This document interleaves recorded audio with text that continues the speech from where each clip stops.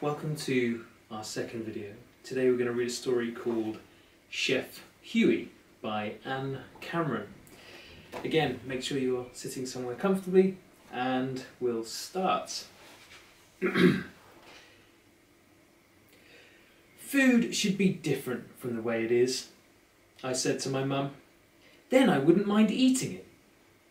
How should it be different? My mum asked. I don't exactly know, I said. Well, maybe you will work it out and be a chef, my mum said. What's a chef? I asked. A chef is a very good cook who sometimes invents new things to eat, my mum told me. The next day, we went to the supermarket. I saw pictures of chefs on some of the food packages. They were all smiling. I wondered if when they were little, they had to eat what their parents told them to eat. Maybe that's why they became chefs, so they could invent foods that they liked to eat. Probably that's when they became happy. The chef with the biggest smile of all was Chef Marco, on the tin of Chef Marco's spaghetti with tomatoes. Please get that tin, I said to my mum. I want to take it home. I wanted to invent something with it, but I wasn't sure what. At first, I couldn't think of anything it went with. Instead, I thought of cakes, like pillows. I thought of carrots that would be fastened together around a meatloaf to make skyscrapers on our plates. One night, I did tie some carrots around my, a meatloaf my dad had made but the strings that fastened them came loose in the oven, and the skyscrapers fell down.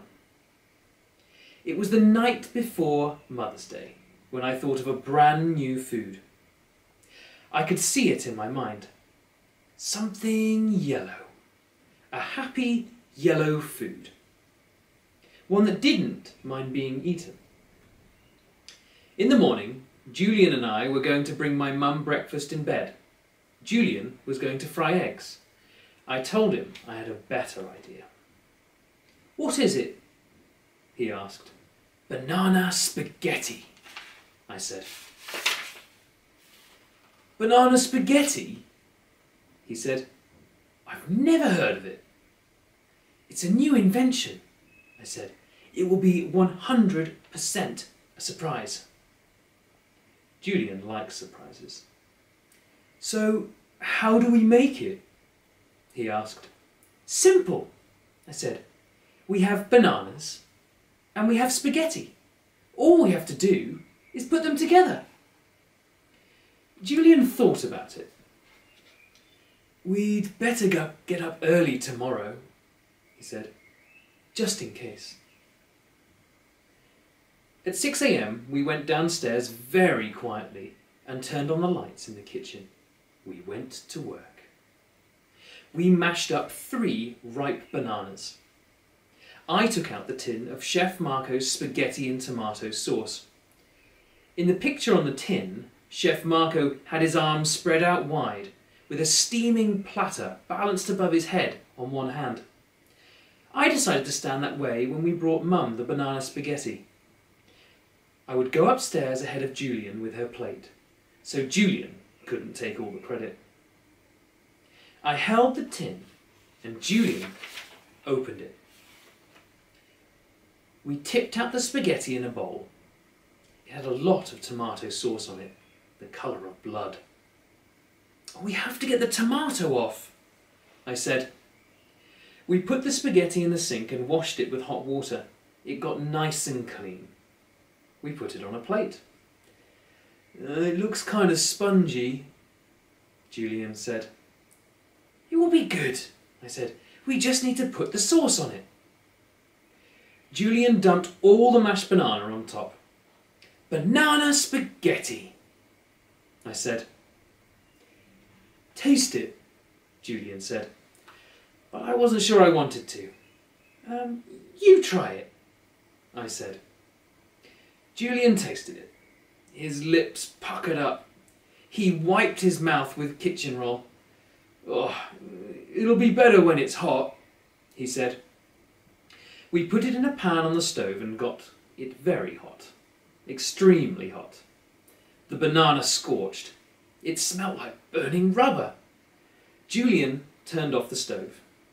We looked into the pan. Not all of it burned, Julian said. Just the bottom. We can put the rest on the plates. We did. Then we looked at it. Banana spaghetti was not the way I had imagined it. It wasn't yellow, it was brown. It wasn't happy, it looked rather miserable. It looked worse than turnips, worse than aubergine, worse than baked fish eye. Maybe it's better than we think, Julian said.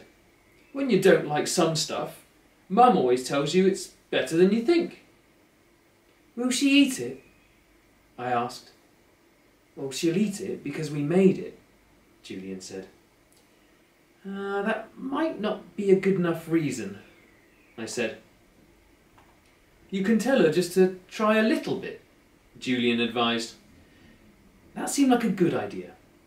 Let's take it upstairs, I said. I handed Mum's plate to him. No, Julian said. You take it up. It's your invention. He handed the plate back to me. I put the plate on a tray with a knife and a fork and a napkin. I started up the stairs. I tried holding the tray above my head on one hand, but it was very tippy. I couldn't do it the way Chef Marco did. And I wasn't happy like Chef Marco either. I wish Julian was with me. I climbed five steps. It's better than you think, I told myself. On the sixth step, I just sat down with the tray in my lap and stayed there. I heard the door to my parents' room open. I heard feet hurrying down the stairs. My dad's. He stopped when he saw me. Huey, he said, what are you doing? Thinking, I said. What are you doing? I'm going for coffee. What's that stuff you're holding?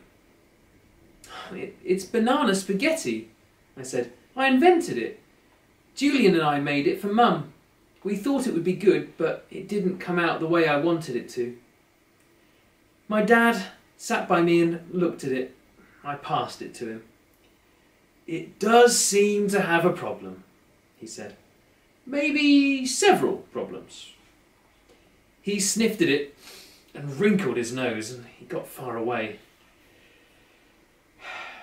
It looked as if he was comparing it with all the banana foods he'd ever tasted in his life. He looked as wise as Chef Marco. Banana spaghetti, he said. It's a good idea. You just need to make it differently. How? Spaghetti is usually made with flour and eggs, Dad explained. But I think we could make it from flour and banana. After I have my coffee, we can try. We went to the kitchen. Julian had the eggs out. He was getting a frying pan. You can put that frying pan away, Julian, my dad said. We're making banana spaghetti. He flicked the switch on the coffee maker. In a minute, coffee spurted out and he poured himself a cup, cup and sipped it. I'm ready, he said. Peel me three bananas, boys. We did. Now put them in this bowl and mash them, he said. We did. They came out sort of white, just like the first ones we mashed. And flour wasn't going to change the colour. Dad, I said, I want banana spaghetti to be yellow. It's not going to be yellow, is it? Not without help, my dad said. Look in the cupboard. Maybe there's some yellow food colouring in there. We took everything out of the cupboard. Toothpicks, napkins, salt, burnt ointment, tins of soup, instant coffee, six pennies, and a spider's web. At the very back, I found a tiny bottle of yellow stuff. I showed it to my dad. That's it, he said. Put some in, Huey. Just a few drops. I did. Stir that yellow around, he said. We took spoons and did it. Bring me the flour, he said. We did. He dumped some in a bowl. This is hard to mix, my dad said, so you can let me do it. With a fork, he mixed the flour and banana into a dough. Julian, spread some flour on this counter, he said. Julian did. My dad set the dough on the floured counter. I have to knead this dough, said. You boys clean the cupboard and put everything back in. We did, except for the pennies. We asked if we could have them. My dad said yes. We put them in our pockets. Dad rolled up the sleeves of his pyjamas and pushed the dough back and forth under his hands, twisting and turning and pressing it hard until it was smooth and not sticky. The dough has to rest so it will be stretchy, he said. He covered it with an upside down bowl and put a big pot of water on the stove to boil. What should go in the sauce? he asked.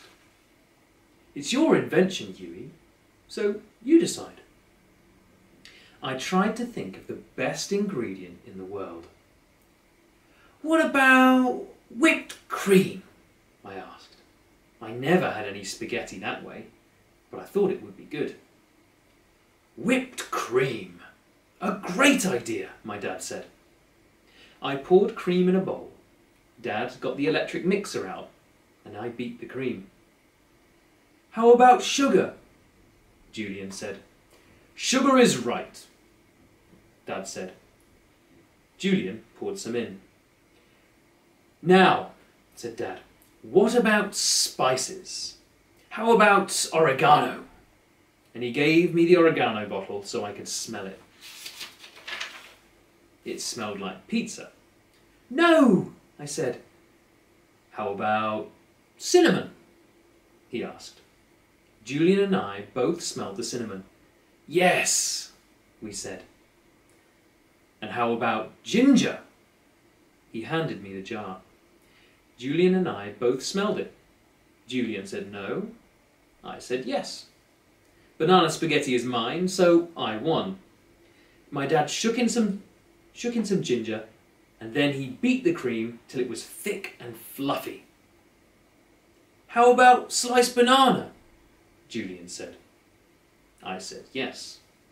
We sliced a banana. My dad stirred it into the cream. We all tasted the sauce, and it was delicious.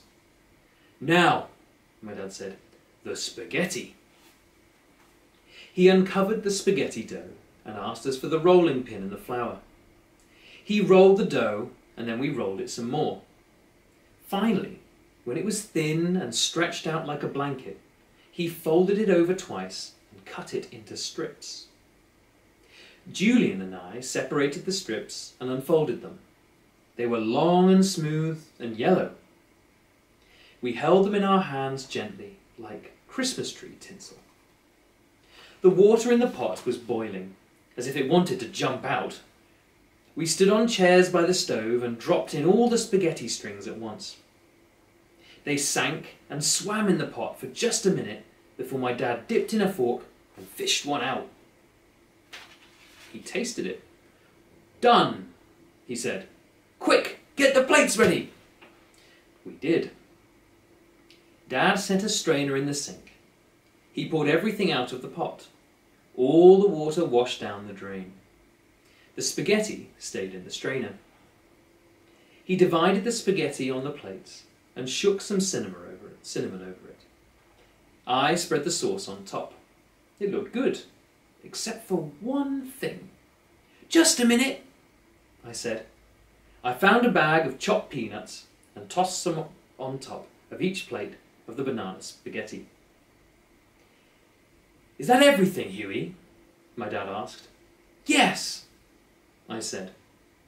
Delivery time, Julian said. I went first with two plates. Julian came behind me with the other two plates. My dad came last with the silverware, coffee, and orange juice on a tray. My hands were full. I knocked on the bedroom door with the edge of one plate. Come in, my mum said. I hoped she would just be waking up, but she was sitting up in bed reading a book. She looked hungry. I set one plate on the dressing table. I brought the other plate to her, the way Chef Marco would have done. Held it out like a gift. Happy Mother's Day, I said. What's this? she said. Just banana spaghetti, I said. My dad handed her a fork. She tasted it. Delicious, she said. Very strange, but very delicious. Dad and Julian helped me, I said, but it's my invention. We arranged everything so we could all eat on the bed. When we had eaten all the spaghetti, we had second helpings of the sauce. My mum scooped up the last bit of her sauce with a spoon. Banana spaghetti! What a wonderful breakfast! she said. And I was very proud. Just yesterday, there was no such thing as banana spaghetti in the whole world. And now there is. Just like once the telephone didn't exist, or the television, or space stations. A lot of people believed those things could never exist, but then some great inventor made them. I am an inventor, and a chef, and I know what I want for dinner on my birthday banana spaghetti with chocolate shavings over the sauce and seven yellow candles on top.